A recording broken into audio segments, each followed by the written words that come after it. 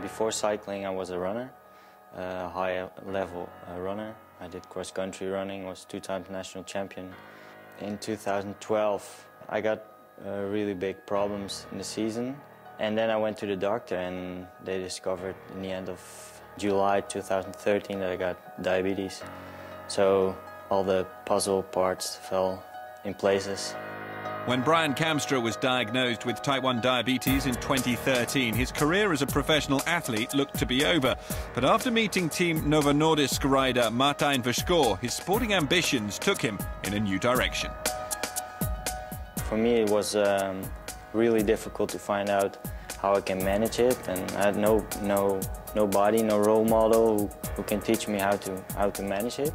And then I met uh, Martijn, I find somebody with the same condition as me, and yeah, we got like in really good contact, and we're now like good friends. So he teach me so much about cycling, uh, not not only my management for diabetes, but also how to race and how to perform and train.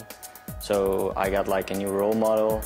Martijn invited Brian to the Team Novo Nordisk training camp, a big gamble, but Verschoor saw that Kamstra had the potential sometimes you see how, how much motivation somebody has. And I see he has the right head, the right motivation. He's just a fighter. And in cycling, you need to be a fighter, you need to be smart. And he was a great runner. And I think yeah, he, was, he has so much motivation that we can give it a try here at the camp. And it wasn't just his fellow riders who were impressed by the young Assen native. Vasily Davidenko, who oversees the pro team, also quickly saw his potential. And since Kamstra's first camp in 2015, he has risen through the ranks to the pro team. I was impressed at uh, how exciting he was to join our team. And also, I saw physically just look at him and he's lean, he's fit. My first uh, opinion was we need to test him and see what's his potential.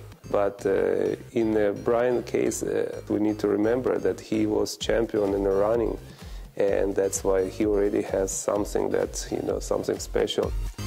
A graduate from the development squad himself, Kamstra knows its importance for the team.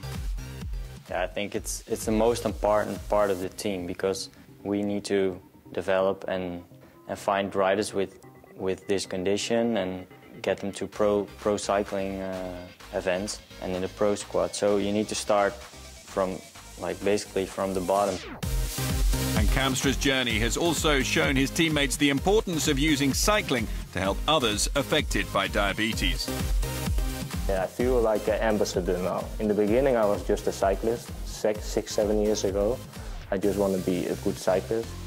But now you see, like, yeah, we have a great sponsor, and you see, like, it's not it's not only giving money and good luck with cycling, but it is when we go to a race in, in England, or we go to Tour of Poland, or we go to to, to, to a race in China. We always communicate, or Novo Nordisk is always communicate with the local people, people with diabetes, and we have a meeting and we share the story. As well as this mission off the bike, the team have big ambitions in the saddle too. With 2021 being the 100 year anniversary since the discovery of insulin, Team Novo Nordisk are hoping to commemorate this by debuting in the 2021 edition of the Tour de France. And Brian Kamstra is one of their big hopes to lead the team rider like Brian, he could be ready for 2021. And in fact, every rider who's at early 20s now could be good potential, could be ready for a Grand Tour in 2021. But of course, it's a long way to go.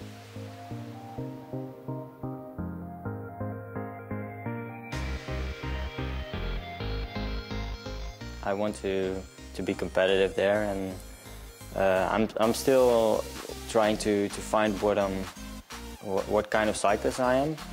If, if I'm good enough uh, in 2021, I'm probably 27 then, so I should be on like top level then. Got a couple of years of uh, pro cycling and yeah, I, hopefully I'm the, the GC man for the team and can can make some good results there. So I'm looking forward to that and like the, the, the progress and like the way to the to the Tour de France.